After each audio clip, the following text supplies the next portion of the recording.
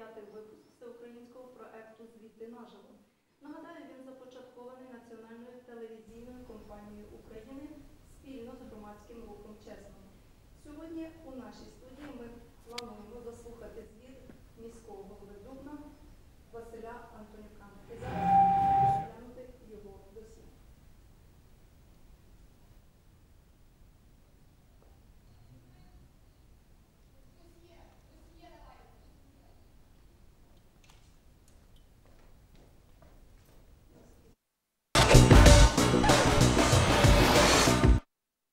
Антонюк Василь Михайлович народився 13 листопада 1955 року у селі Гореньград Рівненського району Рівненської області. 1975 рік учень Рівненського автотранспортного технікуму. З 1975 року по 1977 проходить військову службу у рядах радянської армії.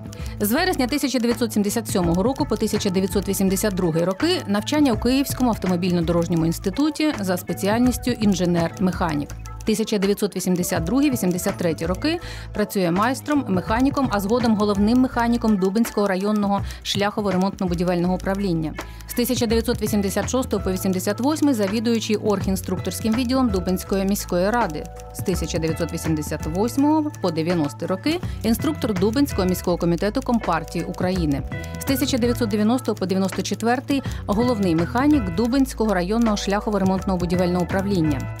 З 1994 по 96 перший заступник голови Дубинської міської ради.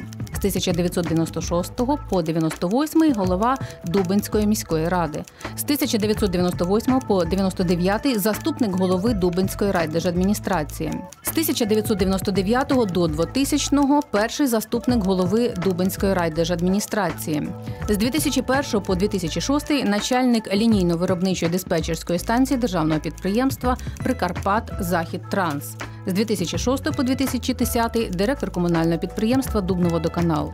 З жовтня 2010 року і дотепер Василь Антонюк перебуває на посаді міського голови Дубна. Позапартійний на посаду міського голови був висунутий міським осередком партії Батьківщина. Також його кандидатуру підтримали міські осередки партії Фронт змін, партії регіонів, комуністичної партії України, соціалістичної партії України.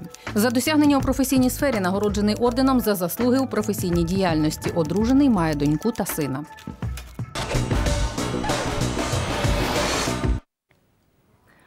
Отож, дякую вам, пане Василю, за те, що ви все ж таки відгукнулися на наше запрошення і прийшли до цієї студії. Як ми вас попереджували, у вас є 5 хвилин, аби прозвітувати перед глядачами, перед мешканцями Дубно про те, що було зроблено за 2017 рік і перше півріччя 2018 року. Всім доброго вечора. Безумовно, що 2017 рік він був е, такий напружений для мене як міського голови, тому що стояло основне завдання це закінчити будівництво спортивної школи. Дійсно, я вдячний сьогодні депутатам, що вони відкликнулися на мою пропозицію і заощаджені кошти, тобто від перевиконання, всі були майже направлені на закінчення будівництва нашої спортивної школи. Тому що раніше спортивна школа вона була в пристосованих приміщеннях, як не в костелі, то в кінотеатрі або ж по різних е, школах нашого міста. Вдалося зібрати зусилля і разом з депутатами прийняти рішення профінансувати цей об'єкт.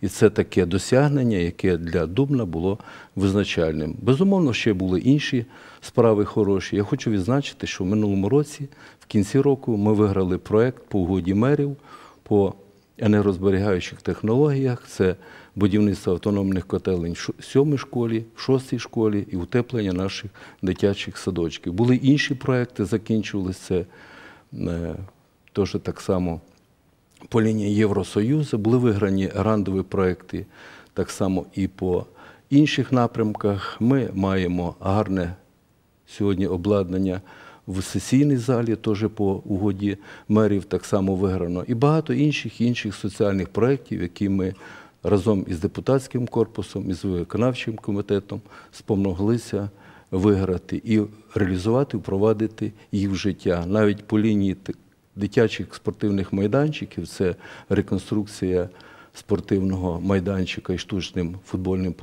полем. В другій гімназії зараз іде повністю проєкт минулого року закінчується в шостій школі. Ось і багато інших таких гарних справ, встановлення дитячих майданчиків. Все це ми разом робили із депутатським корпусом, виконавчим комітетом, а також із жителями нашого міста. За що я їм дуже вдячний за сприяння, допомогу і віру в нас, владу, депутатський корпус і мене як міського голови. У вас ще є час, ви можете ще продовжувати говорити.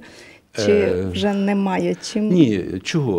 В минулому році також ми подали проекти по лінії фонду регіонального розвитку.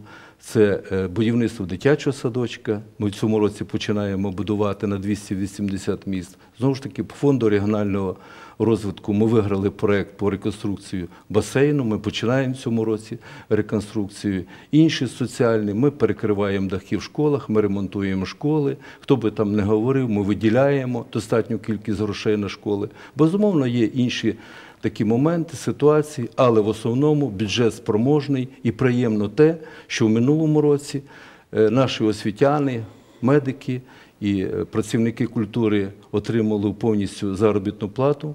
І так само в цьому році отримують. Я думаю, що і надалі так само буде, тому що проблема, ви знаєте, є сьогодні, але дубничани в цьому питанні поки що працюють і живуть нормально, враховуючи те, що довіряють владі, мені як міському голові, знову ж таки депутатському корпусу. Я вам дякую, пане Василю, за такий Дякую. звіт. І ми, щоб бути ближче до Дубинської громади, сьогодні наша знімальна група також працює у Дубно. Я, користуючись нагодою, запрошую всіх небайдужих дубенчан підходити до кафе Дубенчанка на площу, де працює наша знімальна група і мій колега Олексій Бухало. Перш за все, е, перевіряємо зв'язок. Олексію, хочу знати, чи є вже люди біля тебе, які готові ставити питання міському голові. Доброго, доброго, доброго вечора, глядачі ЮА Рівне. Ми зараз знаходимося у місті Дубно на центральному майдані. І ось сюди прийшли дубнівчани, які готові поставити запитання до міського голови Василя Михайловича Антонюка. Пане Володимире, вітаю вас. Доброго вечора. Будь ласка, ваше запитання. Моє запитання стосується корупції у сфері кадрової політики. Шановний Василю Михайловичу, скажіть, будь ласка, якими законодавчими актами ви керуєтеся у сфері призначення керівників на ту чи іншу посаду, зокрема у гуманітарній сфері? Мені видається, що Можна конкретніше? Так, мені видається, що у ваших рішеннях, які мають безпосереднє відношення до висунення кандидатури заступника міського голови з гуманітарної політики, і, зокрема, призначаючи на посаду директора загальноосвітньої школи номер 6, є ознаки корупційних діянь. І скажіть, будь ласка, якими критеріями ви послуговуєтеся, призначаючи на керівні посади, і що ви плануєте, щоб уникнути подібних корупційних діянь у сфері кадрової політики? Дякую. Дякую вам. Світлана, Дякую, Олексію. Десь не зрозуміло повністю було, Е, але я Пане думаю, Василю, я початок озвучу. Мені передали Так, просто, ага. що питання стосується корупційної складової, за яким принципом і за якими законами ви призначаєте керівників освітніх та е, медичних закладів. Ну, е, наприклад, я не вбачаю в якихось там призначеннях корупційну складову, тому що якщо б була б вона корупційна складова, то в мене вже давно, вибачте, загребли б, я не знаю, де я був би. Тому це все пустослів'я, і я рахую просто гра на публіку. Щодо призначень заступника, керувався законом. І цей заступник був затверджений сесією міської ради. Сьогодні успішно працює. Щодо директора школи, це молода працівник, яка пройшла школу від вчителя, була заступником із е, директора із певних питань, а тепер працює директором, успішно працює, виконує свої обов'язки. То я не розумію, в чому справа. Я вам дякую за відповідь. Олексію, ми готові слухати наступне запитання. Чуєш мене, Олексію? Ми продовжуємо Ще раз нагадую, що ми знаходимося на центральному майдані міста Дубно, і у нас наступне запитання. Як вас звати? Володимир, Володимир, ваше запитання. е, моє запитання таке, Василь Михайлович. Скажіть, будь ласка, е, коли в наших садочках е, Дубенщини будуть відповідати чисельність дітей згідно закону, де там має бути до 20 чоловік, а не 35, так як в нас в наших садочках? Отже, питання стосується перезаповнення груп. Прошу, Світлана, відповідь. Мій Зараз, запитання. зараз. Тепер прошу відповідати. Чуть-чуть нас час втрачається на зв'язок. Прошу, Так, можна нічого. відповідати. Я дякую за запитання. Дійсно, садочки переповнені. Це підтверджено і перевірками, і я це знаю. Але ми мусимо і повинні все-таки нашим мамам допомагати, адже місто Дубно не настільки шикарно в цьому питанні має таку можливість. Те, що ми за допомогою обласної державної адміністрації, за допомогою фонду регіонального розвитку. Сьогодні починаємо знову ж таки ще таки будувати дитячий садочок. Це однозначно. Ми дали дозвіл території для будівництва приватного садочка. Я думаю, що в цьому питанні рік-два, і ми трошки зрушимо питання щодо заповненості, переповнення е, груп в дитячих садочках. Я признаю, це є, але є і робиться з дотримання санітарних вимог, однозначно, і наші батьки і діти задоволені. Я розумію, що е, Ну, самі очевидно, не всі, зважаючи на переповнені групи. Що, що? Очевидно, не всі задоволені, зважаючи на переповнені Безумовно, що не всі задоволені, але ми входимо в проблеми батьків і за рахунок квот міської ради даємо можливість, щоб наші дітки дійсно перебували в дитячих садочок, але вже розвиток в дитячому садку набагато кращий і вищий порівняно із тим домашнім вихованням. Я вам дякую, пане Василю, за відповідь. Олексію, ми готові слухати наступне запитання. Добре, добре. Стань. Що? Дубенчани, а дубенчани, дубенчани, дубенчани. Немає зв'язку? Олексію,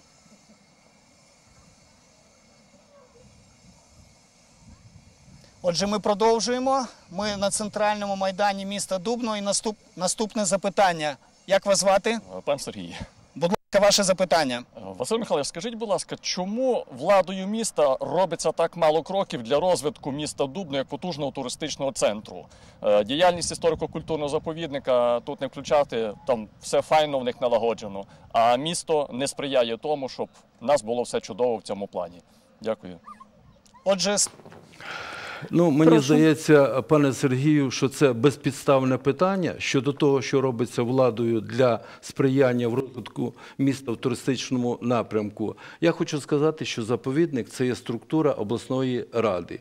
І те, що може сьогодні влада, вона однозначно сприяє, робить і буде робити. У нас гарні стосунки із заповідником, з адміністрацією заповідника. Я маю на увазі державного історико-культурного заповідника. Ми сьогодні разом відновлюємо синагогу. Ми далі вступаємо в інші справи щодо е, будинку контрактів в центрі міста і е, розвиваючи мережу, ми е, гарно працюємо, співпрацюємо і даємо можливість, щоб туристична база в нашому Дубно розвивалася. Тим самим сьогодні ми приймаємо порядка більше 120 тисяч відвідувачів. Я думаю, що буде робитися і більше, адже сьогодні Дубно живе такою туристичною хвилею, туристичним напрямком в сприянні розвитку в в цілому по області туристичної бази, як такої, зокрема по місту Дубно.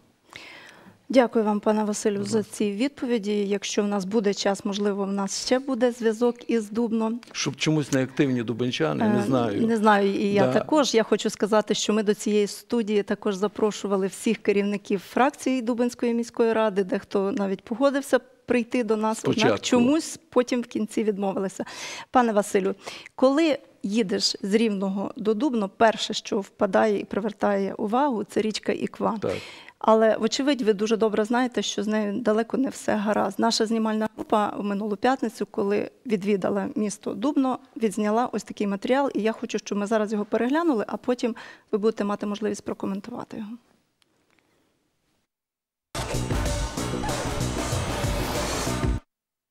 Досліджувати причини забруднення ікви дубенчанин Сергій Раковський почав три роки тому. За цей час, каже чоловік, вдалося з'ясувати, що основним забруднювачем річки є міські очисні споруди. Позаду мене нижче по течії знаходяться очисні споруди, де фактично і робиться скид всіх нечистот з нашого міста, і нижче по течії всі, які населені пункти знаходяться. Оце все отримують з нашого міста. Перше село, яке йде нижче по течії від труби, це село Івані. Воно перше бере на себе удар. Там е, найбільше там застоюється вода. Там взагалі я не знаю, як люди можуть жити. А далі все йде на млинів, відповідно, там пляжі, як люди там купаються, також невідомо. Аби мати відеодокази, Сергій разом зі своїм другом Віктором Бовчалюком у червні минулого року вирішили зануритись у воду безпосередньо у місці скидання нечистот.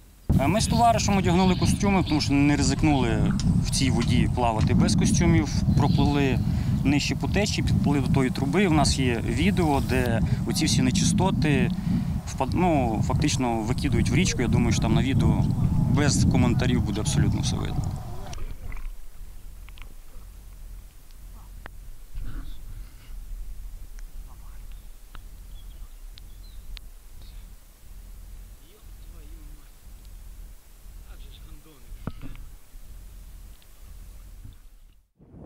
Дубенська міська влада, зауважує Сергій, визнає, що очисні споруди застарілі та потребують заміни.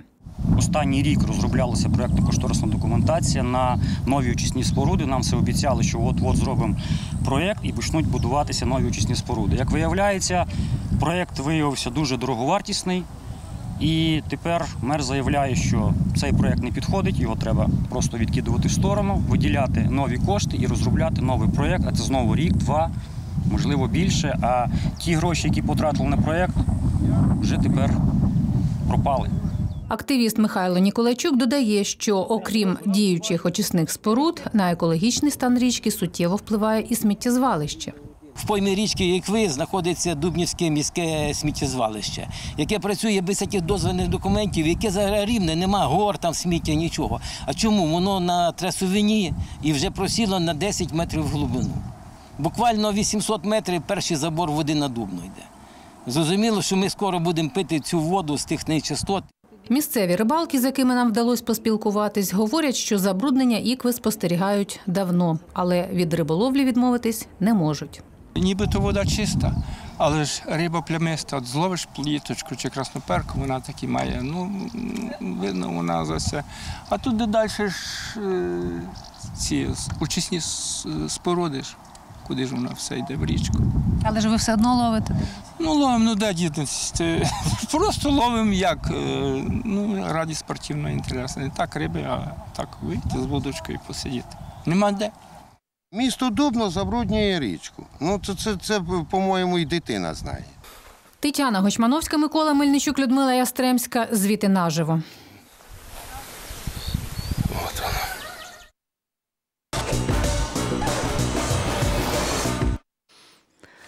Нагадаю нашим телеглядачам, ми працюємо у прямому ефірі, тож ви можете телефонувати до нашої студії і ставити запитання до мого співрозмовника за номером 63 47 51. Пане Василю, що ж все ж таки забруднює річку? Ну, е, я хочу сказати, що дійсно є прецедент забруднення річки Іква очисними спорудами. Але е, це очисні споруди, які були зроблені, е, побудовані ще в 80-ті роки минулого століття, і вони відігравали певну роль в очисті е, фекалів, які скидалися, потім перероблялися і скидалися вже в річку Іква. Сьогодні стан очисних споруд він не змінився. Тобто він виконує свою функцію, він її виконує в тому А це відео, яке ми бачили. Слухайте мене, він виконує в тому режимі, який забезпечують згідно технології, яка може вироблятися, перероблятися ці скиди в річку Іква, тобто очисними спорудами. Іншого бути не може, тому що це технологія 80-х років. Сьогодні місто Дубно проєктує новий зовсім нові очисні споруди, де буде і хімічна, і механічна, і біологічна очистка. А це тільки механічна очистка. Проектно-кошторисна документація, слухайте яку вже уважно, виготовляли. проектно-кошторисна документація, яка в стадії закінчення сьогодні вартує мільйон 320 тисяч. Чому така дорога? Зразу, тому що сьогодні ми ще е, робимо проект, згідно постанови Кабміну, проект на довкілля, так називаємо, тобто механічний проєкт реконструкції і ще окремо проєкт на довкілля. Тобто, чи може ці очисні споруди сьогодні працювати і виконувати свою функцію. І він цей проєкт, е, дозвіл на довкілля, затверджується в Києві. Ми його робимо, ми його закінчимо і представимо людям, на- нашим дубенчанам. Це буде? Як це, я думаю, буде вже в вересні місяці. Але інше, вартість проєктно-кошторисних робіт майже 600 мільйонів. Ви розумієте, що таке новий проєкт очисних споруд? Це сьогодні нові технології, новітні технології е, приймання концентрацій і скиду допустимих норм концентрації в річку. Тобто по, цих, по цьому проєкту вода буде скидатися, будуть скидатися скиди в річку, так називаємо чиста сльоза. Тобто дійсно чиста вода, яка сьогодні спроможна. Ми маємо Кошти, те- кошти, які були е, попередньо витрачені на кошторисну документацію, вони насправді втрачені, так як Ні, то це ж обман. е, Просто люди не володіють ситуацією. Те, що ми зробили, так тепер ми робимо згідно нової постанови Кабінету міністрів ще проект на довкілля. Розумієте, які, тобто е, сьогодні ми робимо цей проект для того, щоб люди знали, чи буде. Е, Цей проект очистка ця забруднювати річку чи не буде, розумієте? І цю експертизу цього проекту буде вона проходити в Києві. І тільки А хто буде, яка фірма робити це? Це буде державна структура робити, це не яка-небудь приватна, це буде Міністерство екології, буде давати експортну оцінку стану е, проекту цих очисних споруд. Так що А хто розробляв? Давайте Скажіть, будь ласка. Я хочу сказати сьогодні нашим шановним дубичанам, будь ласка.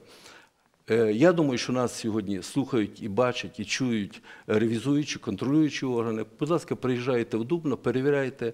І е, вони це вміють робити, робити, вони знають, як це робити. Вони вже не одного насилали, перевіряючи у Дубно. Хай чергову партію по лінії екології, інспекції екологічної присилають і інвентаризують, перевіряючу сторону, я маю на увазі до тобто міську раду щодо проекту е, реконструкції очисних споруд. Пане Василю, перше запитання. Е, Проект оплачується за кошти міської міської ради, тобто міської за, ради. за кошти громади міста Дубно. Е, Будь ласка, назвіть фірму, яка буде, яка робить експертизу. Значить, це буде робити експертизу Міністерство екології нашої країни, Кабінету міністрів, Міністерство екології. Вони будуть робити. Вартість, загальна кошторисна вартість мільйон 320 тисяч проєкту, в тому числі десь біля півмільйона вартість тільки експертизи. Експертиз. Ви можете представити, що, що це таке? Е, 60 мільйонів ви назвали. 600 мільйонів, перепрошую. Майже 600 це теж мільйонів буде це з, міського, роботи. з міського бюджету. Чуєте? Ні, послухайте. Це проєкт коштує мільйон 320, Так. а вже проєктні роботи саме на модернізацію, реконструкцію очисних будуть коштувати майже 600 мільйонів. Ці А гроші треба десь буде У вас шукати. є ці кошти? Немає цих коштів. А звідки ви плануєте їх взяти? Ви розробляєте проєктно-кошторисну документацію? Так, Чи не станеться це так, що Ми розробляємо, проект, і значить, не ми буде розробляємо це проект регіонального значення. Ми будемо звертатися в Міністерство екології, будемо звертатися в відповідні інстанції Євросоюзу. Ми вже цим проробляємо це. Тільки буде закінчено, тому що е, експертували наш проект експерти із Голландії, експерти з Польщі, які сказали, сьогодні той проект, як ми почали робити, так він не відповідає тим нормам вимогам Євросоюзу. І ваш проект не може бути підтриманий Євросоюзом. Тому робіть от такий проект от таким чином. І ми робимо згідно вимог експертів, які були в нас присутні. Пане Василю, єдине, що хочу уточнити, скільки вже потрачено на той проект, який ви сказали, що Вже довелося потрачено переробляти? десь 800 з лишнім тисяч на е, проект самий, на проект. Це кошти міського Кошти бюджету? міського бюджету. Зрозуміло, ви мені не відповіли на запитання, хто забруднює річку, оскільки в 2016 році було заключення обласного лабораторного центру, що все ж таки проблема у неефективній роботі очисних споруд Дубно водоканалу. Е, Дивіться, я колишній директор Дубного Так, я це знаю. Я працював директором. Е, Ми наші очисні привели в режим функціонування і роботи з дотриманням вимог е, тих очисних по технології, з якому воно передбачалося при запуску в експлуатацію. І сьогодні цю функцію вони так і виконують. Чому сталося, наприклад, е, збій в е, технології очищення як такої? Наприклад, такий виробник і переробне підприємство харчової промисловості, як е, Дубно молоко, раніше в добу переробляло біля 300 тонн молока. Сьогодні воно переробляє біля 600 тонн. Скажіть, будь ласка, те, що скидається на очисні, спроможне сьогодні переробити? Безумовно, що не спроможне. Тобто доля правди в тому, що забруднює е, власне молокозавод річку? Безумовно, що є. І коли ми Ви почали безумовно, і вони це признають, і ми це признаємо. І коли ми почали проєктувати проєкт реконструкції, ми зійшлися на тому із е, власниками Дубна молоко, що вони вступлять в долю фінансування. І не тільки вони, але вступлять в долю фінансування і інші підприємства нашого міста. Той же саме овочосушильний, той же саме ливарно-механічні, ті самі заправки і інші такі структурні підрозділи, які є забруднювачем в річку Ікву. Однозначно, що буде дольова участь всіх підприємств нашого міста в реконструкції очисних споруд. Пане Василю, я вам дякую і зараз пропоную переглянути ще один сюжет, який відзняла моя колега Тетяна Гочмановська із мікрорайону цукрового заводу. Будь ласка.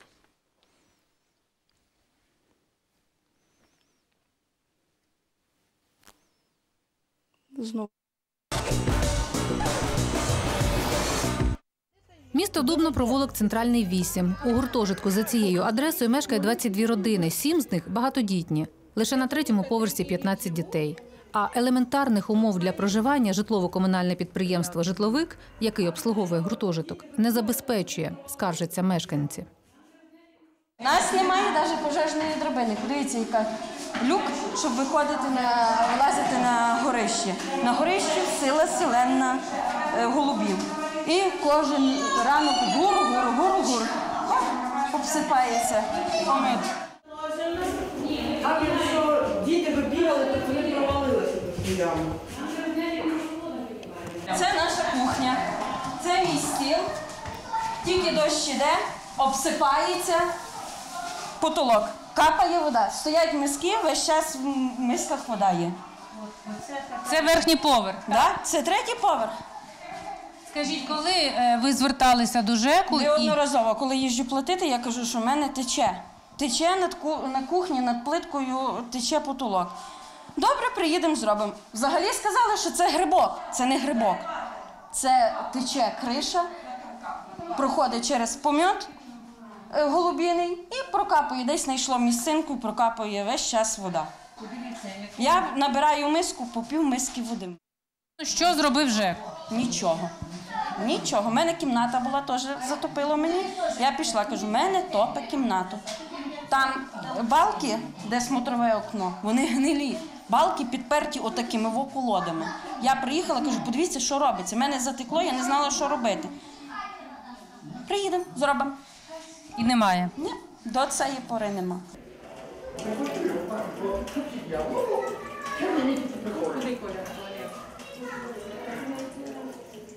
Оце ми воду п'ємо. Бачите, в нас зав'язаний кран, і весь час ми миємо, і це ржавчина. Оце. Тобто ви так зав'язали, щоб е, фільтрувати? Так. А що, воно в каструлі все. І скільки часу така вода тече? Весь час. Це в нас тече така ржавчина, і це не тільки в нас.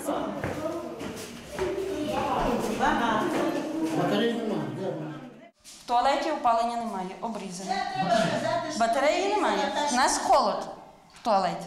Діти ходять так само. Унітаз, подивіться, який. Скажіть, будь ласка, туалет один на весь поверх? Так, один на весь поверх.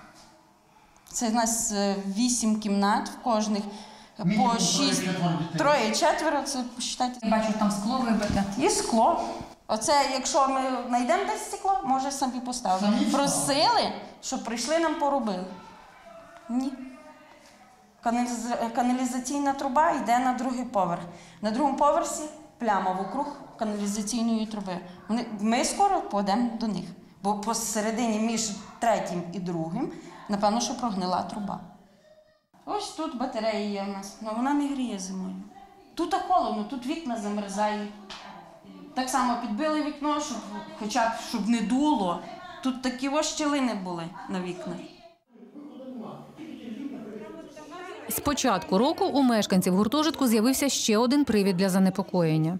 У нас один вихід. Другий вхід запасний у нас заблокований. Під час е, пожежі, де буде пожежа, ми не будемо мати куди втікати. Я в кінці коридора живу. Навколишню територію теж доводиться доглядати самим, кажуть жильці. Зверніть увагу на ті зелені насадження. Да? Хлопці наші порівняли, позрізали, гарно зробили той Ті, хто живуть в гуртожитку. Ті, хто живуть в гуртожитку, покусили. Є в нас тут техпрацівниця, що має це все прибрати. Нічого не ро... взагалі нічого. ЖЕКу до нас бояться йти, якби ми які прокажені. А ліхтарі тут працюють? Бачимо Ні. ліхтарі. Ні. Може світитися в день, може раз на два місяці засвітитися. Все, нікому до нас діла немає. Тетяна Гочмановська, Микола Мельничук, Людмила Ястремська. Звіти наживо.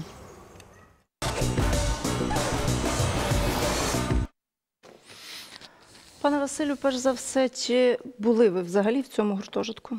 І коли? Е, Я буваю дуже часто і хочу сказати, що ситуація, яка є, я хочу привести такі цифри. Із е, 43 квартир, які там є, да, 17 приватизовані, 26 комунальної власності. Ці люди мають право приватизувати ці кімнати? Безумовно, що вони мають право. Але сьогодні вартість одного метра 2 гривні 3 копійки, так? І в місяць вони повинні платити всі жителі, так? 3 тисячі гривень. Але вони платять сьогодні тільки півтори тисячі. Коли за електроенергію кожного місяця ЖЕК платить чистих 3 тисячі, тому що освітлюються і е, площадки, там, і лісничні клітки, і все інше. Сьогодні загальна заборгованість гуртожитку так, жителів перед е, житловиком 113 тисяч. Скажіть, будь ласка, сьогодні люди думають, що вони живуть при комунізмі, при соціалізмі.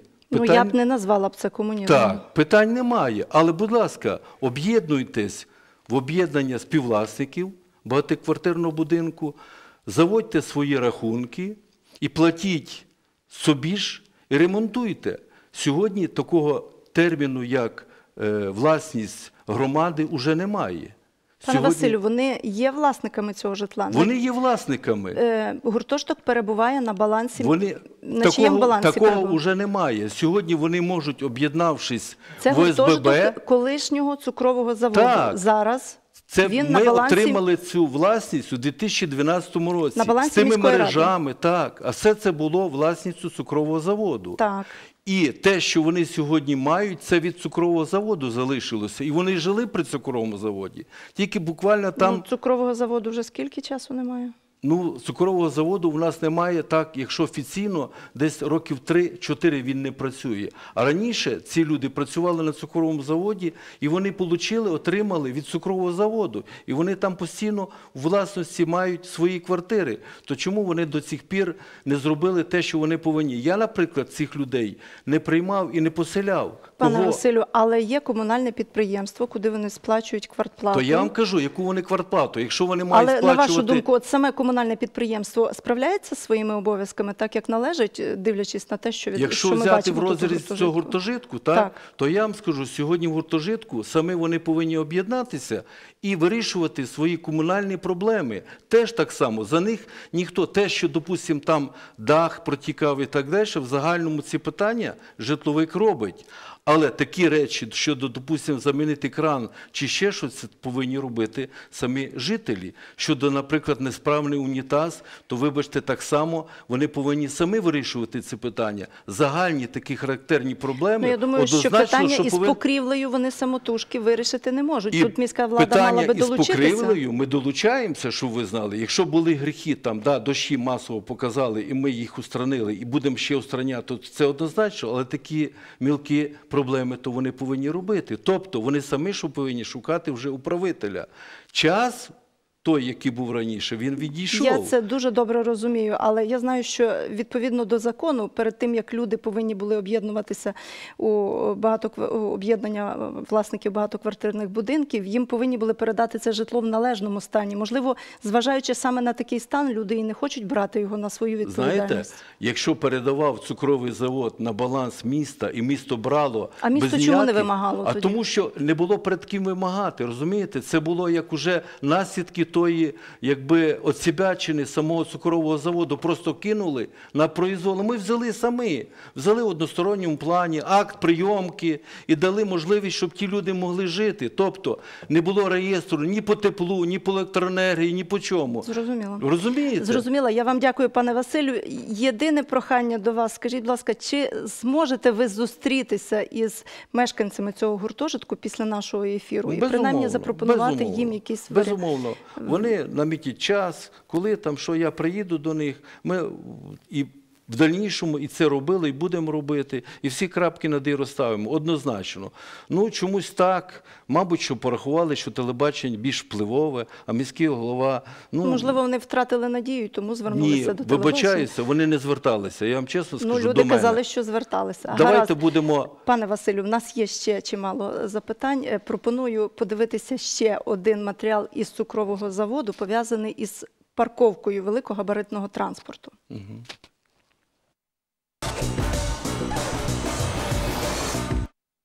Через мікрорайон Цукровий завод, що у Дубно, проходить траса міжнародного значення Думанове, Ковель, Яготин, Тереблече. Щодня тут проїздить та зупиняється великогабаритний транспорт. І це, наголошують місцеві жителі, уже давно створює чимало незручностей. Виходить, що вантажівки їдуть тільки цим мікрорайоном, тому що там далі не дозволено, їм рух заборонено, і вони на Тараканів або в сторону Кременця їдуть саме сюдою і саме тут зупиняються. Їхнє улюблене місце це стати на пішохідному переході або за кілька метрів від нього. Виходить, у нас житлові будинки більш по ліву сторону, а по праву садочок, дитячий, школа. І діти мусять туди ну, по-любому проходити через пішохідний перехід. І виходить, що щоб перейти, ти ну так, щоб вийти на дорогу, ти не бачиш, що їде зліва, що справа. Мусиш або навмання перебігати, або вийти до центру, щоб глянути, так заглянути, чи ніхто не їде. Не зупиняй. А, ви один.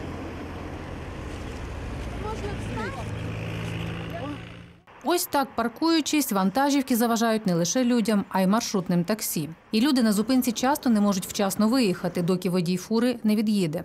З цього приводу дубенчанку Світлану переповнюють емоції. Де наша міліція, де наші всі служби? Повісили знаки, знаки замалю- замалював хто знаки? ті, що, ті, що їм не вигідно, щоб тут не ставали далекобійники і машини, бо в них торговля нарушається. Та й все. Мама чотирьох малолітніх дітей Любов Анфьорова каже, що завжди з острахом переходить тут дорогу, бо була свідком не однієї небезпечної ситуації. Один случай был такой, что Один такий випадок був, що біля школи перехід зупиняється таксист. Жінка хотіла перейти дорогу з дитиною, і вийшло так, що позаду таксі стояв автобус пасажирський і обганяє таксі, і ледь не збиває жінку з дитиною. Дуже дуже важко переходити дорогу. Зробіть світлофор, будь ласка. дуже тяжко переходить дорогу. Сделайте светофоры, пожалуйста. Встановлення світлофорів на обох пішохідних переходах, відповідних дорожніх знаків та облаштування заїзду для фур саме цього чекають від влади жителі мікрорайону, але поки що безрезультатно. Ходили е, активісти з цукрового до міського голови на прийом. Він, е, ну, він обіцяв, каже, я нічого не можу зробити, бо це дорога ніби під е, керівництвом облавтодору. І ніби він каже, ми пишемо листи, так само звертаємося, щоб облаштували на цукровому тут зони для фур і для переходу, і світлофорик обіцяний, але як каже, не від нас залежить. Тетяна Гочмановська, Микола Мельничук, Людмила Ястремська. Звіти наживо.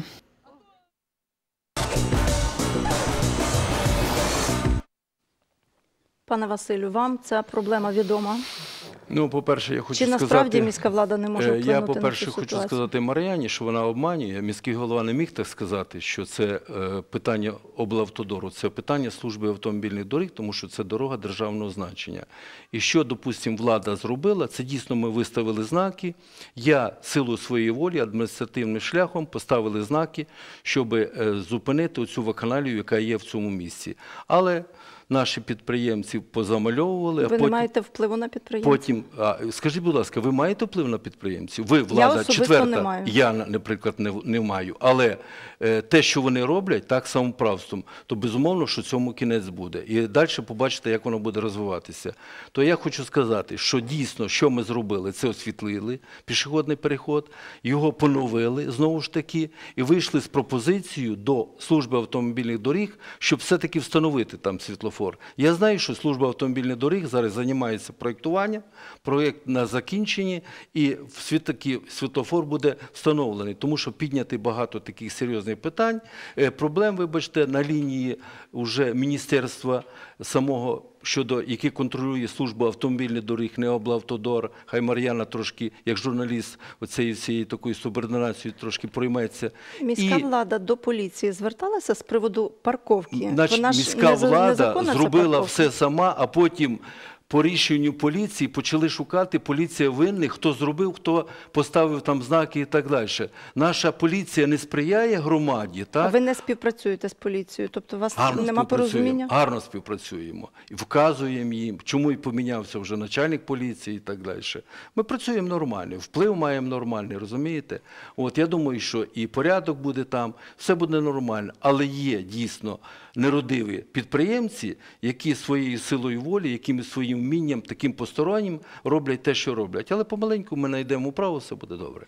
То ви на цих підприємців у поліцію писали заяву чи ні? Я ніколи ні на кого не писав. Я спроможний сам цих підприємців заставити, щоб вони були покірними, слухняними і виконували Тобто чинне ви можете, законодавство. ви самі собі заперечуєте. З однієї сторони кажете, що ви не маєте впливу на підприємців, а з іншої, що ви з ними Е, можете розумієте, домовитися. е, ніхто домовлятися не буде. Просто зробимо те, що вимагає закон. Знову таки поставимо знаки і проведемо їх через сесію законом. Світлофор коли може бути там на тому? Світлофор від мене не залежить, але є обіцянка така, що все-таки в цьому році він буде. Це дорога державного значення.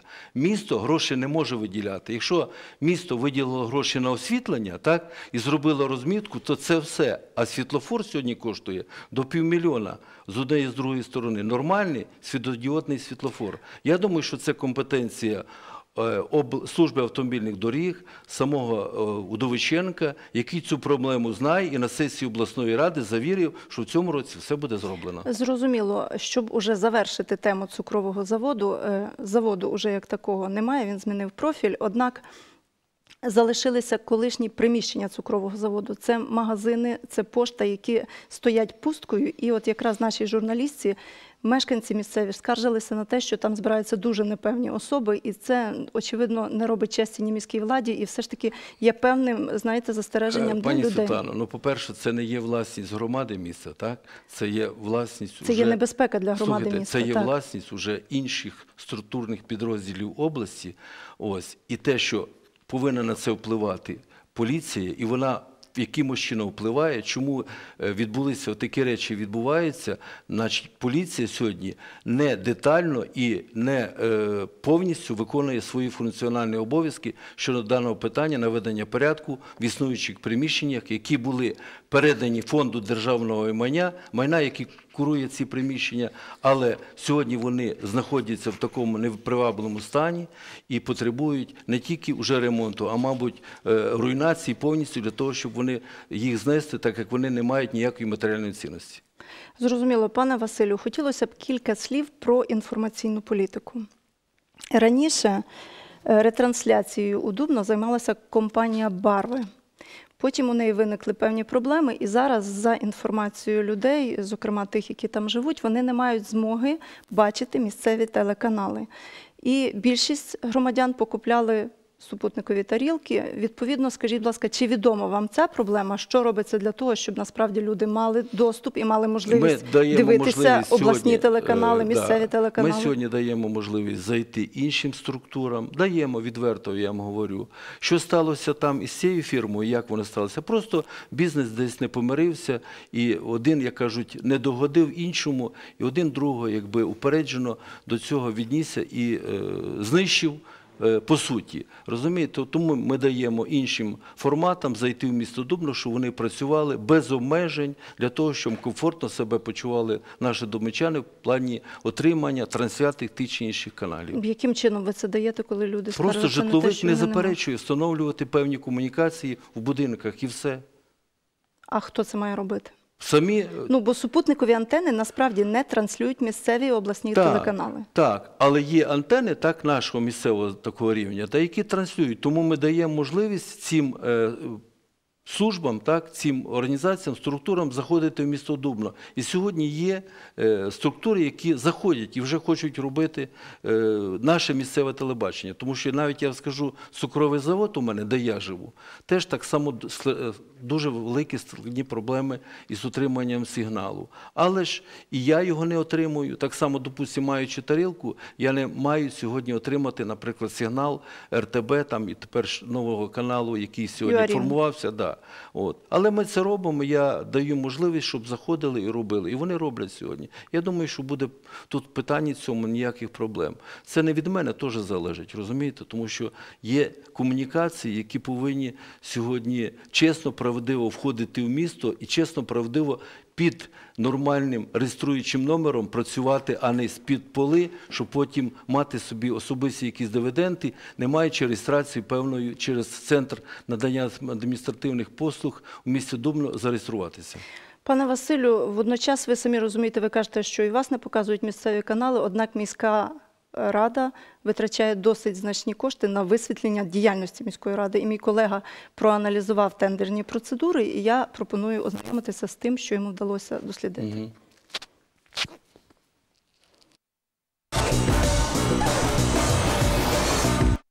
З початку 2017 року і до липня 2018, за даними Прозоро, Дубинська міська рада замовила публікацій та ефірів у місцевих засобах масової інформації на 395 тисяч гривень. Закупівлі міська рада проводить на висвітлення своєї діяльності у ЗМІ та розміщення оголошень. У 2017 році висвітлення обійшлося платникам податків у 234 тисячі гривень. З них 206 тисяч телерадіокомпанії Дубно. 107 тисяч 900 гривень отримала Дзовдубинська телестанція, більш відома як тижневик Наше дзеркало. 81 тисяча пішла газеті Замок. За перше півріччя 2018 року сума становить 160 тисяч гривень, 90 тисяч телерадіокомпанії Дубно, 45 тисяч нашому дзеркалу і 25 тисяч газеті Замок.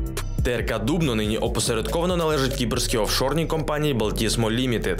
За даними аналітичної системи «Юконтрол», раніше компанією володіла сім'я бізнесмена та екс-голови Дубинської райдержадміністрації Данила Корилкевича. Наймовірніше, він і досі контролює компанію. Дубинська телестанція або наше дзеркало належить дружині народного депутата Олександра Дехтярчука. Газета Замок раніше була комунальною, а зараз перебуває у процесі роздержавлення. Дмитро Бондар, звіти наживо.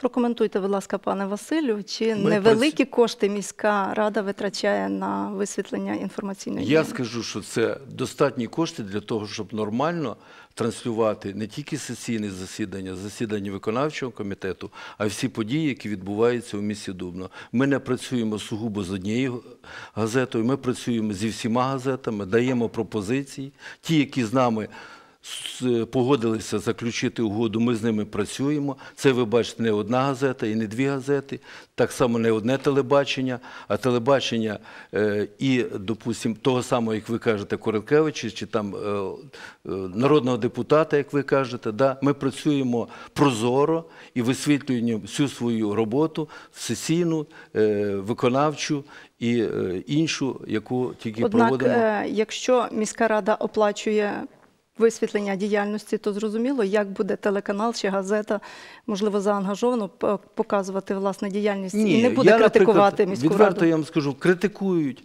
Мене е, Критикують. критикують і нормально критикують. І якби не нормально критикували, то б я погано працював би. А так, що я кажу, щось робиться, щось відбувається, і відбуваються певні зміни. І дубинчани не тільки ті, які не відвідували наше місто Дубно рік, два, півтора, дійсно е, бачать ті гарні е, перспективні зміни, які відбуваються в місті Дубен. Та не тільки дубенчани, а приїжджі гості і все інше. Мабуть, і ваш е, ведучий Олексій, сьогодні, який брав інтерв'ю, теж бачив ті порядні зміни. Я йому представляв те, що має відбутися, наприклад, на День міста у місті Дубно. Е, Це буде в майбутньому, пане Василю. Але чи знають жителі міста Дубно, що за кошти платників податків ви оплачуєте власне от такі послуги, як висвітлення? Ну а чому не знають? Якщо тут хтось стоїть, це все робиться прозоро через сесію, затверджуються гроші, і вони направляються відповідним засобам масової інформації для висвітлення. Висвітлюється робота самої сесійна, висвітлюється робота депутатів, різні заходи, різні партії, фракції, які приймають участь, вони безумовно висвітлюють і показують. У мене немає такого, що це провладна партія чи це не провладна. Всі в одинакових. Умовах. Умовах. Пане Василю, е, ви думаєте, якби міська рада не проплачувала ці кошти цим телеканалам і газетам, вони не висвітлювали б діяльність А чому, ради? якщо інші не висвітлюють, не хочуть мати з нами справи, наприклад, там. Я не буду називати сьогодні газети. Просто не хочуть. От.